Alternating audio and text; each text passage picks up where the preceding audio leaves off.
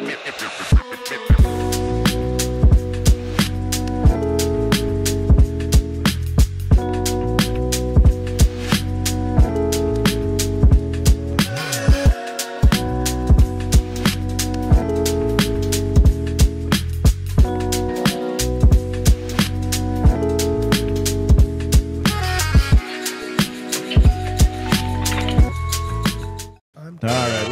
thing started. Let's get this thing get started.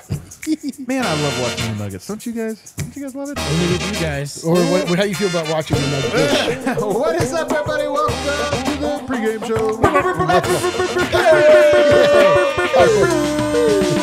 Presented by Bet365. Never ordinary. Never. Never ordinary. Not once. Definitely not tonight. Going to be far from ordinary as the Denver Nuggets play host to the Chicago Bulls. Shout out to CHGO. Uh, we went to their place. They came to our place.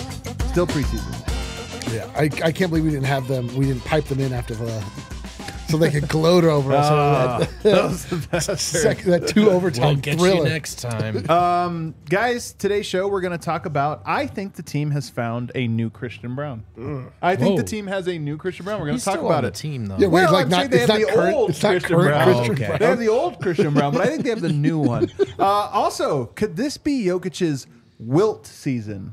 Wilt Chamberlain. What does that mean? We'll go over that. Yeah, And what of course- does that mean? what- I mean, I, you guys are, I haven't told you anything about this pregame show. We're gonna In what fast? In what way of we're- Wilt's life? We're gonna find out. God dang it. You're right. I should have clarified this a little bit more. Uh, and then, of course, we're going to bet on this game with all of these really unique prop bets from Bet365. First, let me introduce my panel over here with a brand new jacket. Brendan Vogt. New jacket, very flannel, very Colorado. What do you think, Dev? You're the only person whose opinion matters to me. I mean, there's a paper towels, brawny. yeah, I do him, look yeah. very brownie. Yeah, ask man. me, ask me. Eric. What do you think? I really like it. You look great. Oh, thanks, man. Wow, Thanks. that was a real turn. yeah. that was a I should have twist. started with D line. Who would have known that? Speaking of great jackets, my man from Serbia. That's right, dude. yeah. I bought this in the airport, and then later on, when I did the math, I realized I got gouged. You know what? Worth it though. That thing Totally looks incredible. I, I love it. Uh, representing Serbia. And then over there, of course, always stylish, devilishly handsome. I just Superstar can't Dev. believe that you're still getting ripped off like this, man. You would think that you're like a, a man of the people Listen. and that they wouldn't do you like this. I spent all week uh, with the looking at prices in dinars, and it was like a number that didn't make sense. You're like, it's nothing. And then later on, I was like, Thirteen What? thousand. Thirteen thousand is not that bad. Yeah. Um, but here in America, Nuggets taking on the Chicago Bulls. Preseason game number three. We're at the halfway point, guys, of the preseason. A halfway point. There's another half of this to go. Actually, the Nuggets play a basketball game in nine days for real. They raise a banner. But tonight it is the Chicago Bulls. Vogt. Do you have any game notes for us? Yeah, we'll call it the return to Ball Arena for the Nuggets here. A little preseason home action. And David Adelman had a little update for us. Well, let's start with housekeeping. The injury report Christian Braun out again with the calf, Michael Porter Jr. out again with the ankle. And then Jay Huff on the injury report with a right rib fracture. He is out. D-line, does it change your opinion of uh, Jay Huff knowing that that perhaps that first poster dunk he broke a rib and gutted it out through not one but two overtimes with a broken rib? it was definitely on the second one, the one where he was crumpled under the basket. Come on. Well, that's what what happened. Um, does it change my opinion? I don't want to be the anti Jay Huff guy. Well, I did not choose this life. This life chose me. I didn't intend to be this person. I don't. Uh, I am rooting for Jay Huff. that's- you know what? I actually appreciate this. I, in all Yeah. sincerity, No, no, I actually 100%. appreciate it because I hate when you have to root against a guy to be right on Yeah, a thing. I- It's like I- the worst thing there is. I didn't want this to. I just noticed somebody in summer league that I thought looked very out of place, and then the Nuggets signed him, and I know other people saw it. And again, I can see why he could be a good player. I'm rooting for Jay Huff. That sucks. He got hurt. I like this. I like. I appreciate But I it. Good did. I seen the moment that he decided to go against Huff. It was out of the way. He was like eating at summer league. He looked up. A guy was on the floor. He's like, he's always on the floor. That guy is so. Uh-huh. So I seen it all Yeah, happen, and then he happen. just stuck. He stuck to that. I like take, that and I'm he- glad that he's now starting to Yeah. get over that hump. I like that he pointed out you were eating. Well, I remember that part. That's what we do. Well, you guys have credentials. We drink and eat. That's, that's the whole I remember thing. that. Part. I, I had my second drink. What else is in the game now? Well, let's get an update. How about on Michael Porter Jr. and that ankle, Christian Braun and that calf contusion, both progressing, says David Adelman. The hope is they play in Thursday in Los Angeles, not Tuesday, but Thursday for the fifth and final preseason game. That's the best case scenario, Adelman told the media. And of course, we're getting all of this from Harrison Wind, who is in Ball Arena tonight. a little bit of a bummer, not gonna lie. Harrison, uh, not But the wind, not not, the wind part. We're glad you're there. Um, wind also has this to say: the starters expect the same: Jamal Murray, Kentavious Caldwell Pope, Justin Holiday, Aaron Gordon, Nikola Jokic. And then Michael Malone, obviously, who is not with the team, is expected to rejoin them in Los Angeles this week. Again, Tuesday and Thursday games. At some point, Michael Malone will rejoin the team. One more note from Adam in here. One of the main reasons we've seen the starters play as much as they have and that they are going to play tonight is that the conditioning is still at a B at this point, David Adelman said. Uh, so they're going to get a game off eventually, but right now they're still trying to get those boys into shape. We'll see the same starting lineup, though, fellas, and uh, that's what I got game note wise. If Malone does miss this game and he misses the next one on Tuesday in Los Angeles, and then he comes back and the starters have played all four, does he pl- like? Do you think he wants to play the starters? I mean, I think naturally he would want to just get his guys back into to a flow and just see what they're missing. Um, I know that he's watching right now, um, or at least he's gonna go back and watch. And I know that he has critique because he's just such a competitor and he wants Yeah. just like perfection from his guys. But also, you don't want to run your guys into the ground um, No. at the same time. So I think he wants to be with them. I don't think that he would play them in the same fashion. One more note, actually, on starters. Let's go to Chicago. They're switching it up to tonight. Whoa. tonight. So it's Coby White, Ayo Dosunmu, uh, Patrick Williams, Torrey Craig, old friend, and self-proclaimed Hall of Famer, although he might be if he matches up with Zeke Nnaji every night, Andre Drummond. yeah, you're right. He did say that So- he so believes starters- he's a Hall of Famer. He believes himself to be one. So those starters are all out. Did it say yeah, out or is that yeah, just the- that's No, those are the guys who are starting. Those so are they're the not going to go to starters. Zach LaVine and DeMar DeRozan. I so mean, I don't think you're bringing them off the bench if that's what you're asking. Yeah, you I would think, they're that they're probably not just playing. out. Yeah. Zach, we're going to try you off the Everyone, they second unit They save him for the second overtime. Yeah. overtime. So that should be interesting. The same Nugget starters here tonight. Justin Holiday, D line. Who's your eye on tonight? Uh, it's Strawther.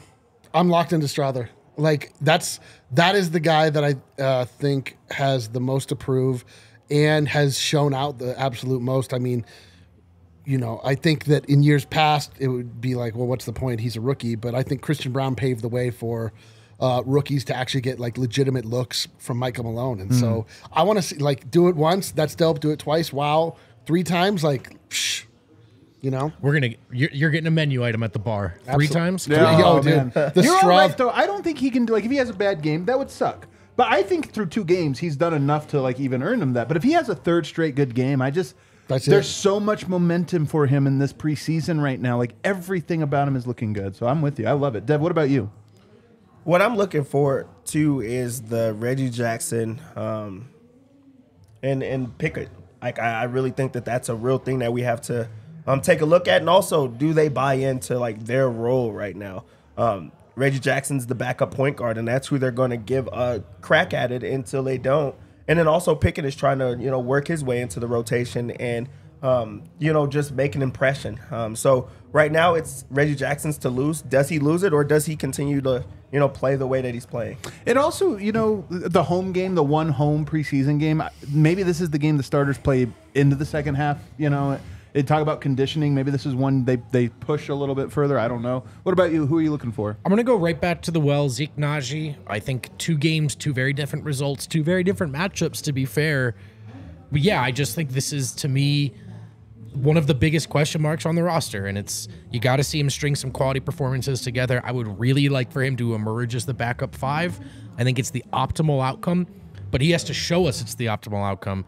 The potential has to be realized. The flashes have to become consistent, and every minute every minute matters for Zeke this season, including the preseason minutes. They they matter a lot. I feel Yeah. just in terms of trust. I think right now you look at Zeke and you know, he's the guy. He's gonna play, but your trust level is kind of like opening night. Is he gonna? How's he gonna be? Yep. A little shaky. Love to see him get a little bit of momentum. So I'm with you. Zeke Nnaji to me is probably the guy that I'm in on. And then the guy we didn't mention, Peyton Watson. I'd just love for him to have a really good game tonight. Yep. Um, he has yet to have a good game in preseason. In my, I shouldn't say a good game. He has yet to he- have a very good game. Yeah. I think he's had good games.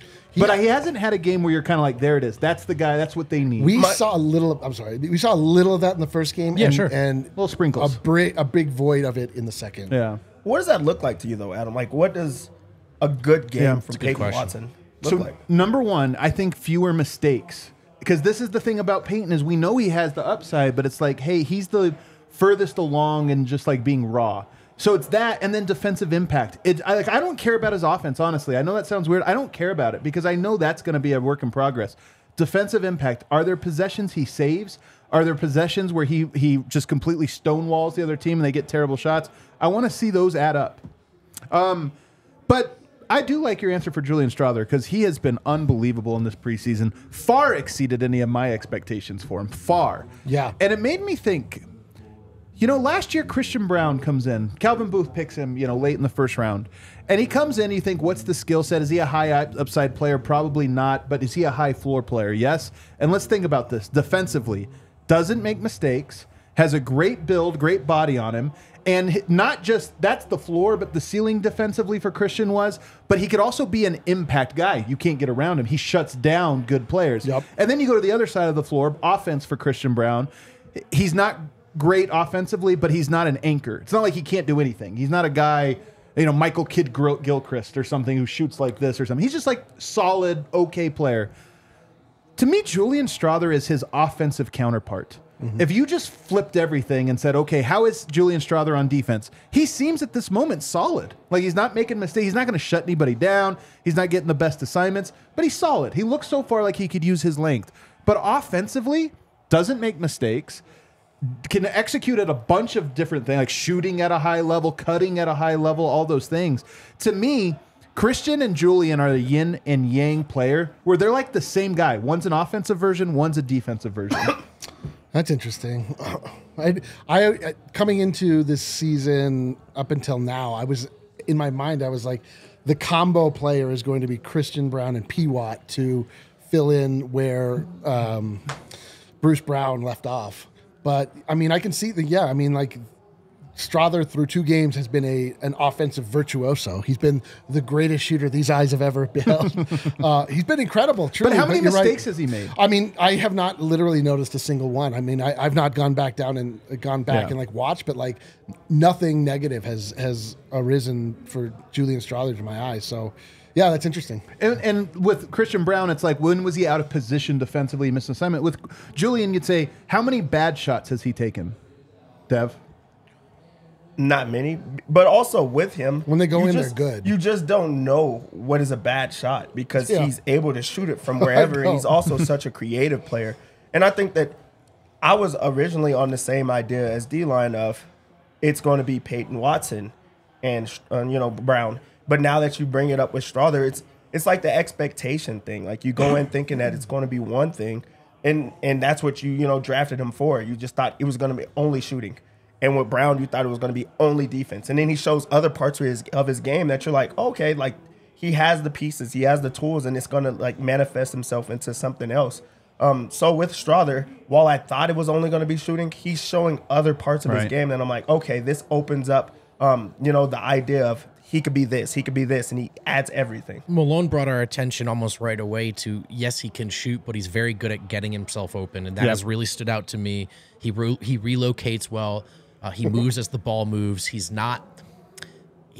You can ball watch and then be flat footed, but he's not, right? He's watching the ball with an understanding of where he needs to be next, anticipating where it goes next. So that's the Christian Braun, right? Kind of flip side reflection of he's just in the right spots. And, you know, he hasn't done a ton of playmaking or putting the ball on the floor, but he's looked fairly comfortable when he has. He just looks like a guy that's ready to play basketball. So I like the Braun comp. if you combine like Strawther's offense and Christian's defense, that's like an all star. You know what I mean? Like Like Michael Jordan. it's like, but it's for real. It's like uh, top five pick Yeah. who's just solid at everything. Like so that's why I say they're sort of counterparts. And I just the defensive part to me becomes because I knew he was going to be a good shooter. I didn't know how much he read the court. He reads the court way better than I thought. Yeah. way better. Clearly, he seems to know himself, which is something Aaron Gordon said of all of these rookies. They know who they are. They know their their games, and they he stays in the line. But defensively, he looks huge, and he just doesn't you have to not be a guy that a team can just say go at him every time. You can't be D'Angelo Russell in the playoffs. You can't be those types of guys. And to me, I'm watching him and I go, he doesn't scare me as a guy that teams. He knows how to play his position and he's long. Is he going to get burned by really good players? I think so. Early on in his career, he's going to look ugly out on an island against De'Aaron Fox and that caliber Sure. of player.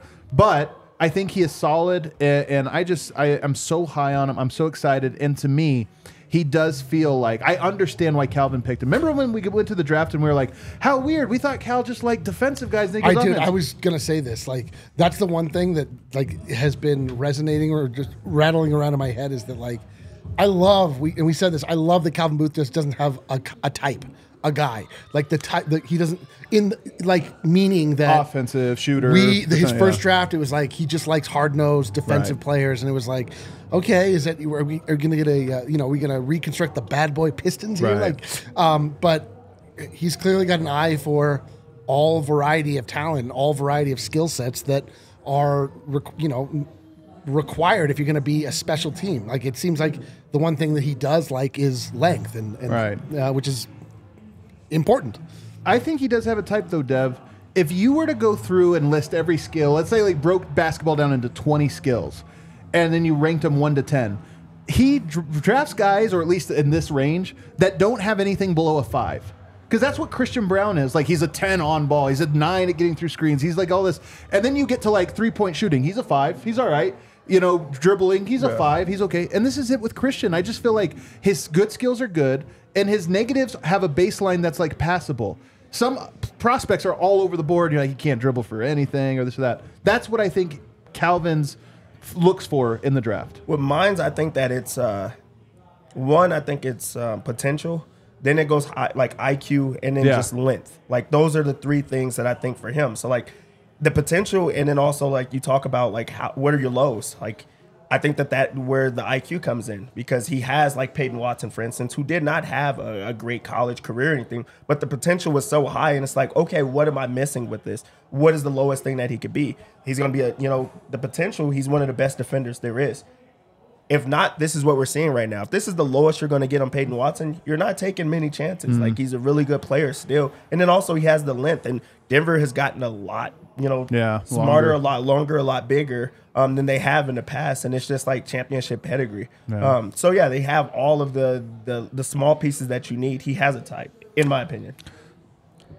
I want to move on to this next one, and I want to throw it to you. But uh, friend of the show, Jordan Scott, over the weekend, we were talking about Yoke took 11 shots in game number one. He took 10 shots in game number two.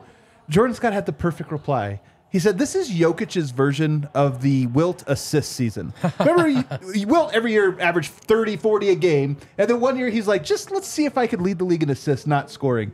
What if Yoke this year was like, I wonder if I could score 30."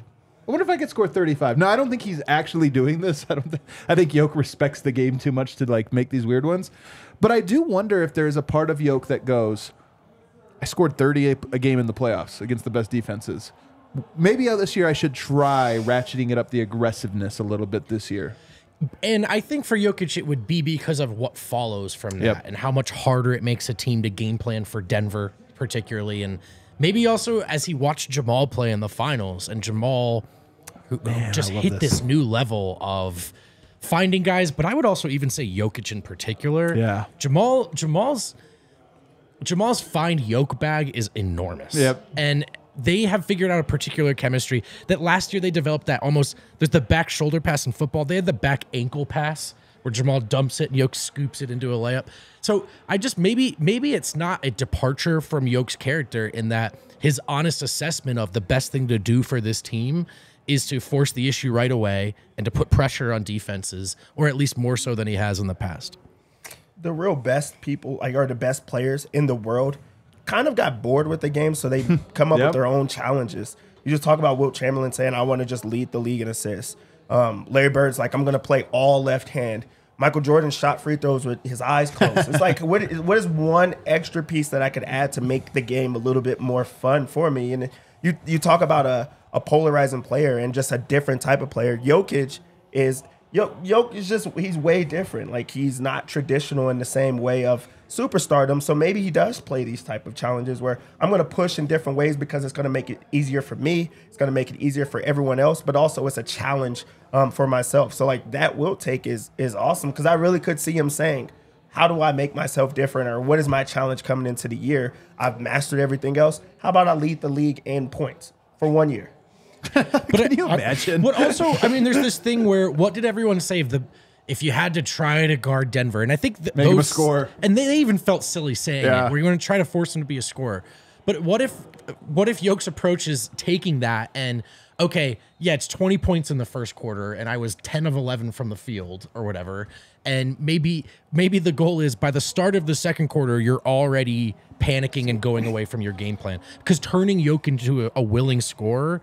Uh, is not actually as good of a strategy as it sounds. Yeah, t- to me, it's like I think something just was unlocked in Jokic. I think like he just wants, he, like he tasted what it is to be the undisputed best player in the world. Uh, well, undisputed by everyone except for the sports leader ESPN. But like the idea that like it, it was he could believe do. we have to say this all It's only here. experts though. It's only the experts. I experts. actually love that we get to. But I just I think it's like I do think he hears the criticism of him. I do think he hears Yeah. these things. I, I think that you know people questioned. he- We've questioned like whether or not does he love the game, all this stuff. I kind of think he just is like going to go out and just like kick everybody's ass. Like I think he's like done with people saying this, that, or the other, and he's just going to dominate like through. And he's not like coming in like uh. I gotta blah blah blah. I gotta get ready. I don't want. I wish it missed my. I think he's just like I'm gonna step on your goddamn neck, which He- I love. It's an evolution for him to where he's gone from the reluctant The reluctant goat, leader, yes. the reluctant goat. I mean, like Yes. leader, sure, that part's still coming too. But I just mean the like. Yes. he seemed uncomfortable. Even last year, throwing the MVP, there's this level of like, I'm not necessarily comfortable being the Yes. guy that everyone agrees is the best. And it does feel again, it's just preseason, it's just camp, it's just these different things. But it does feel like he's ready now. Yep. He's like, you know what? I want it. I needed to wait for that. Now I need to make sure everyone. I need to make sure Anthony Davis knows he's not Yes. on my level. I need to make sure Joel Embiid knows he's not on my level. that There was always the- experts at ESPN understand. well, I there probably was cares always less about those the guys. kind of, and this is all you know, almost all said in t- like tongue in cheek and jokingly, but you know, is Yoke going to get one and then just disappear and retire? Might be going hard the other way. it might Man. be going. He got a taste of this, and this is where he would like to live now. And if that's the case, this is the golden era for real. You guys are on fire, man. Bringing some phenomenal takes. You know one thing though that I haven't heard us discuss yet that I was thinking about when I was sitting at home watching the game the other day. Your haircut? My, I didn't get You a haircut. I need oh, no. I need oh, a haircut. oh. No, here's the thing. I know it always looks the same I'm no matter guessing. what. Know, Actually, you didn't never tell know. the We didn't know. Yeah, it's, it's my hair just. um, it's that one. I think Yoke did add something to his game that we haven't discussed. I think he's stronger than ever. I agree, man. I think he actually might have hit the lab this summer, the weight room, in a way that he hasn't always. No, I, know, know. I know you're saying because he doesn't look it right. He looks a little flabby, this or that. It's how he played in these last two games.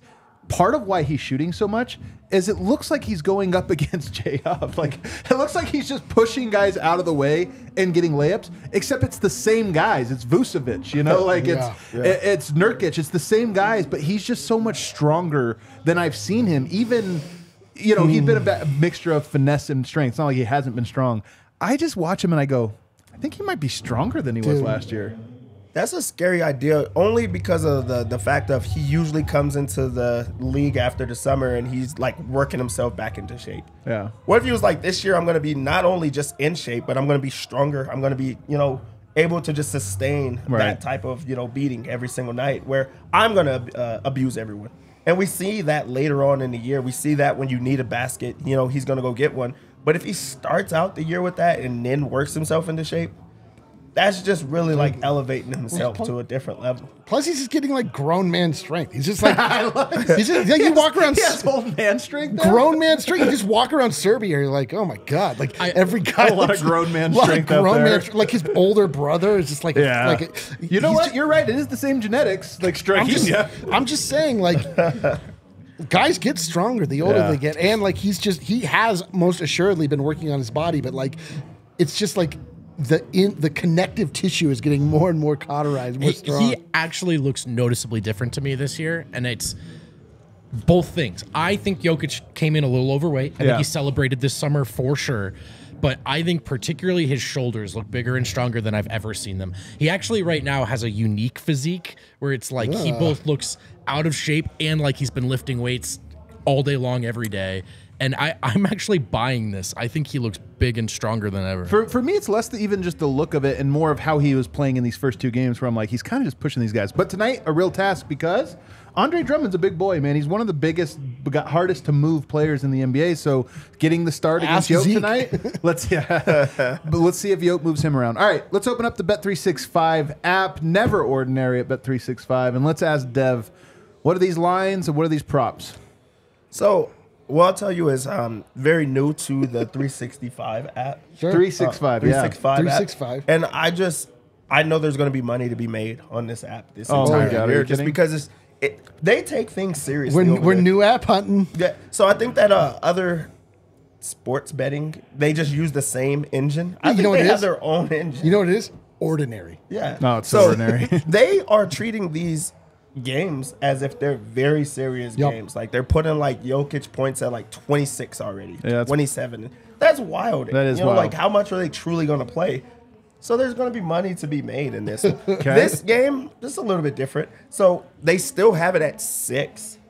6 is the line. And the best part about it being six, none of the starters are playing. I don't think that they have like they got to realize that the starters are not playing. So wait, are the Nuggets favored by six or they're No, the the Nuggets are favored by six. Okay, okay. Okay. Um, so you could get a first quarter bet. That's going to be super easy. It's going to be the starters First versus bench, yeah. Andre Drummond. Yeah. like that's just that. You might as well get your money on. Woo, on time the to game the system, baby? You might as well game the system early on. First half, the spread uh, Nuggets minus four. We're gonna take that. We really have this? yeah. I can't believe you're handing out Minus like this four. on preseason. I thought we were going to do the fake bet. The thing quarter is again. the quarter is minus two and a half. Oh, the I'm first so quarter, ready for this. two and a half. I can't believe I Yeah, get to because it's actually do Nugget this. starters versus non-Bull starters. That seems Oh, like an they're easy. gonna- That seems What's like a going lock. on? Minus Thank you, four for the half. Bet365. The Nuggets are gonna just like now is gonna be the backups um, in the second half, and also it's gonna be the Bulls backups Oh, man. because their backups are already starters. So this is gonna be like a pretty even game. Only that you get a head start. I love head starts. I win every race when I have a head start against children. I love heartfelt and earnest preseason analysis. Let's go. And making money off of it. Mwah. I They still love it, have like bet boost. They have Zach LaVine to score twenty points. He can't. Don't take that. Can you go to the under? can't. they got him to score three plus three point. They have no idea what to do. Is that still up? I'm gonna taking some money. under. Yeah. Gonna make some I money. love this. You taking your eye off the prize? We come in and we snatch it. Yeah. So, look, there's money to be made. You might as well make it. Let's just do all Denver bets. Why but that would- first why quarter, would that we do first half is anything a big else? one. That's a big one. Holy smokes. All right, I love it. I didn't realize I still had a little bit of my bonus bets still here. I'm using I had my last bonus bet to make a Nuggets preseason bet. There's Good a job, late, there's a late game note from Harrison Wind. Nikola Jokic's top horse in Serbia, Breno Lamar, won a big race in, Sub- in Subotica. Oh, you want to talk about motivation? the Oh race You want to talk about of Subotica motivation? At 3,200 meters, Breno Lamar has won four races in a row, and eight of the 11 he's entered this summer and fall. oh fall. my goodness. Domination. That is domination, man. Dominant. Wind is, just wind is runs out everything. of control. He's on horses now, man. He's, Like, he's on the ponies, man. He's on the ponies. uh, every day you get to watch Nikola Jokic play basketball is a great day. Guess what? Today's a great day. Oh, We're going to go down and watch them. Peyton Watson, Zeke Nnaji, further evaluation for all of those guys. And it's right here in front of the best fans in the world, Denver Nuggets fans. Hit that like button for us before you head out. Maybe drop a comment if you want to let us know who you are most excited to check out. We'll see you guys in the post game.